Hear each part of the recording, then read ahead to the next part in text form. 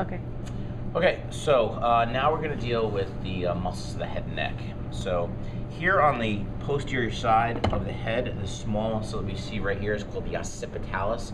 Now, please take note that your lab book refers to it as the occipital belly of the occipital frontalis muscle. I don't care which one you have or which one you use. I use occipitalis, okay? But you can use either one, you'll get more correct on both. So this is the occipitalis muscle.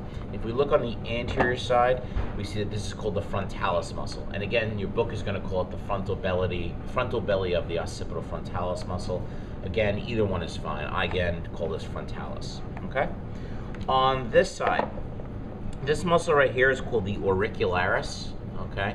It's called the auricularis. The book also refers to it as the temporal parietalis. Again, either one, either one is fine with me. I don't care whether you call it tempor, uh, temporal parietalis or auricularis, that's fine.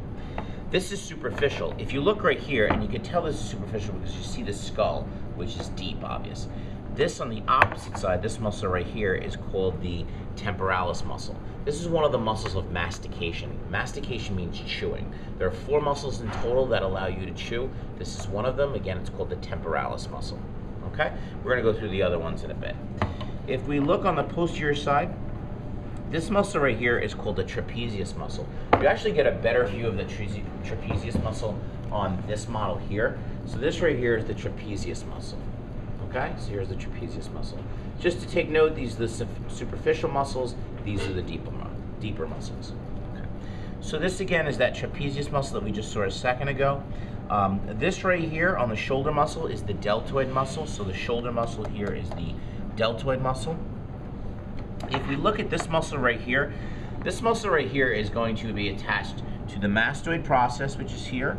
It's also going to be attached to the sternum, and to the clavicle.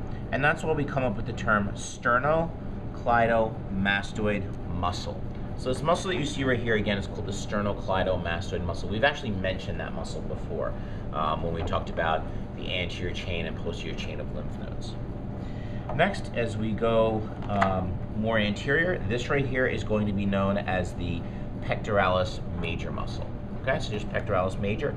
If we take off the pectoralis major muscle and we go deeper, we have the pectoralis minor muscle. So here we have the pectoralis major and we have pectoralis minor.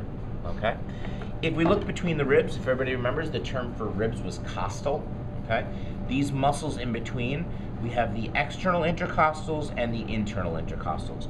So these are internal intercostals where the fibers run out, and the ones that run in, the fibers that run are called external intercostals. So external and internal intercostals, external and internal intercostals. Okay? This muscle right here is called the platysma muscle. That's again, it's called the platysma muscle. Okay? Stop it.